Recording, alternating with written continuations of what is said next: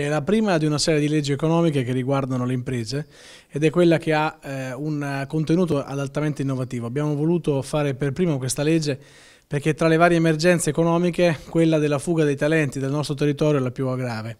e quindi se vogliamo trattenere i migliori eh, giovani laureati con delle idee, con delle invenzioni, con del talento appunto da esprimere Sicuramente le start-up rappresentano il terreno più fertile con cui misurarsi per nuove idee imprenditoriali oppure nuove innovazioni che possono essere introdotte nel business. Quindi riteniamo che questa eh, legge e quindi questo bando poi potranno entrare a pieno diritto nella programmazione europea. In questa fase abbiamo fatto velocemente l'apertura perché intanto sentivamo l'esigenza da parte di molte, eh, molti giovani che volevano tentare di aprire delle loro aziende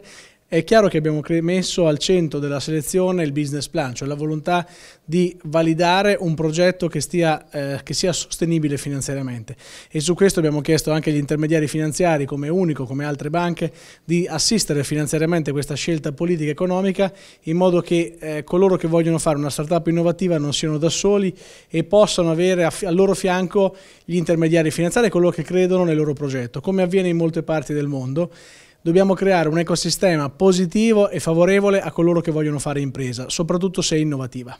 È una partenza con risorse della regione per poi eh, vedere il fabbisogno, qual è la reale richiesta di queste risorse. Una volta che è definito il fabbisogno lo rifinanziamo o con il POR eh, oppure con eh, i soldi della regione.